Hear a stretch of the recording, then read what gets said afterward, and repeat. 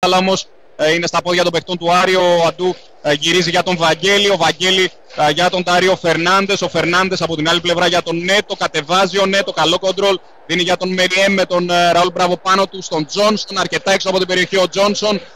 Τώρα βέβαια βρίσκει χώρο. Δίνει στον Μεριέμ. Ο Μεριέμ στρώνει στον Τάριο Φερνάντες. Αλλάζει αυτός από την άλλη πλευρά για τον Αντού. Είναι καλή η αλλαγή. Κατεβάζει ο Αντού. Έχει τη δυνατότητα να κάνει σέντρα. Αργεί λίγο ο Αμερικανός. Τελικά κάνει τη σέντρα. Εκεί όπου είναι ο Τζόνσον. Είναι γκολ! Είναι γκολ για τον Άρη. Το 1-0 με τον Έντι Τζόνσον. Στο 31ο λεπτό από τη σέντρα του Αντού. Ο Τζόνσον πήδηξε σωστά α, με την κεφαλιά. Καλά πλασαριστή. Καλά πλασαρισμένη κεφαλιά από τον Έντι Τζόνσον. Το 1-0 για τον Άρη.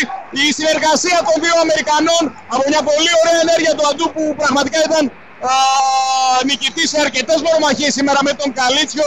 Σε μία από αυτές τη σέντρα πέρασε στο δεύτερο δοκάρι και λίγο πιο μέσα, κοντά στο πέναλτι για το κεφάλι του Τζόνσον. Κεφαλιά σωστή από τον Τζόνσον. Πολύ ωραία κεφαλιά από τον Αμερικανό. Και ο Άρης ανοίγει το σκορ σε ένα κομβικό σημείο στο παιχνίδι. Λίγο πριν από το φινάλε πρώτου μηχρόνου. Άρης